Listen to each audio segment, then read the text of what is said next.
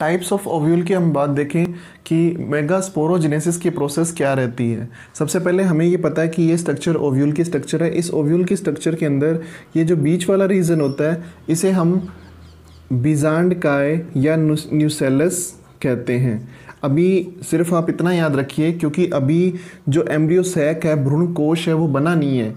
ठीक है? तो यानी जब जिस टाइम ये डेवलपमेंट हो रहा होता है, उससे पहले की बात कर रहे हैं अपन स्टार्टिंग में। जब मान लीजिए फ्लावर बना है, उसके अंदर फीमेल पार्ट बना है और लेकिन उसके अंदर एम्ब्रियो सैक नहीं बना अभी तक, ठीक है? तो अपन स्टार्टिंग करते हैं न्यूसेलस ये जो न्यूसेलस है, इस न्यूसेलस के अंदर जो स्ट्रक्चर होती है, उस स्ट्रक्चर में हाइपोडर्मल सेल्स हाइपोडर्मल सेल ये जो हाइपोडर्मल लेयर होती है, इस हाइपोडर्मल लेयर में से यानी देखिए, सबसे एक ऊपर वाली होगी लेयर फिर उसके बाद अंदर वाली। तो अंदर वाली जो लेयर है, उसके जो सेल्स होती है, उस सेल में कुछ सेल इस ऐसी होती है, जो आर्की स्पोरियल मदर सेल की तरह काम करना शुरू कर देती है।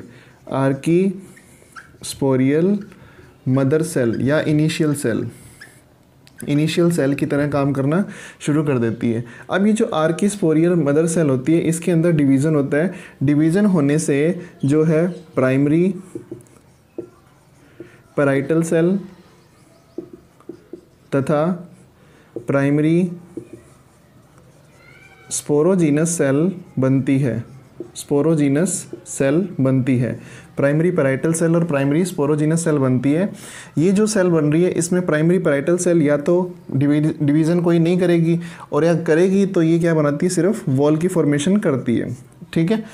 जैसा हमने उसमें भी पढ़ा था एंथर वॉल बनाने के लिए भी ये सेल यूज़ हो रही थी।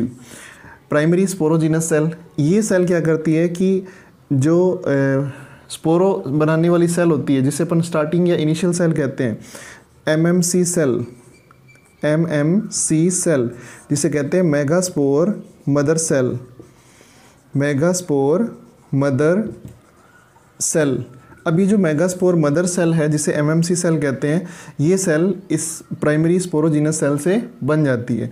अब इस एक सेल के अंदर क्या होता है? डिवीज़न होता है। कौन सा डिवीज़न होता है? मियोसिस होता है। मियोसिस। और इसमें जब मियोसिस होगा तो इसमें लीनियर फॉर्म में, लीनियर मतलब लीनियर मतलब रेखीय रूप के अंदर। इस तरीके से चार मेगास्पोर बनते हैं। ये जो चार मेगास्पोर बनते हैं, इनमें से तीन मेगास्पोर तो क्या हो जाते हैं?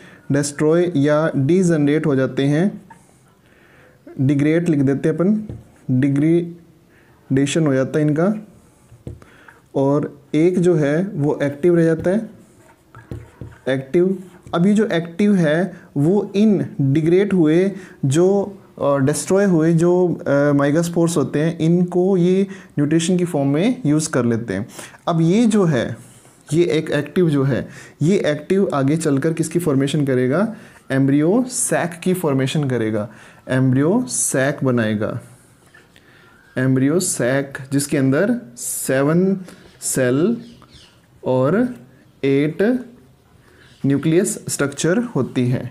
क्लियर है? तो सबसे पहले हमने याद रखना है कि गुरु बीजाणु जनन या मेगास्पोरोजेनेसिस क्या है? एक ऐसी प्रोसेस है जिन, जिसके अंदर हम आर्की स्पोरियल सेल या इनिशियल सेल से चार मेगास्पोर की फॉर्मेशन करते हैं, उसे मेगास्पोरोजेनेसिस कहते हैं, जिसमें से तीन जो है वो डीजनरेट हो जाते हैं डी डिग्रेड हो जाते हैं और डिग्रेड होने के बाद में उनका यूज़ एक्टिव जो मेगास्पोर है एक्टिव मेगास्पोर जो है, वो न्यूट्रिशन के फॉर्म में उसको यूज़ कर लेता है। तो ये हमारी स्ट्रक्चर किसकी थी? मेगास्पोरोजेनेसिस की।